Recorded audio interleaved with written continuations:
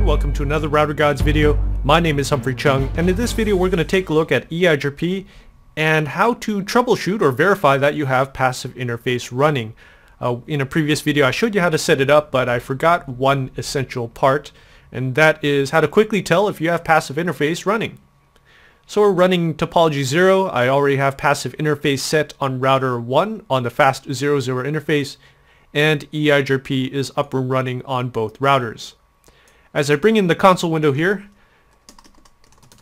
of course you all know that if you do a show run, you can space through and you could see that in router EIGRP we've got our passive interface right there. So that's one way to find it. You could have also done the show run pipe I and remember it's case sensitive so fast ethernet capital F capital E hit enter right there and you should get couple lines there and the most important one is passive interface fast ethernet 00 but there is an easier way of doing all of this. Just do a show IP protocols.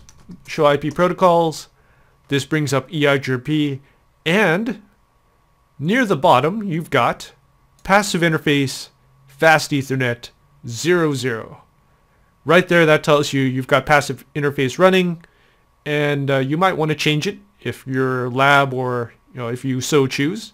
But that's an easy way to tell if an interface is in passive mode for EIGRP. This will also work for all the other protocols like OSPF and RIP and stuff like that.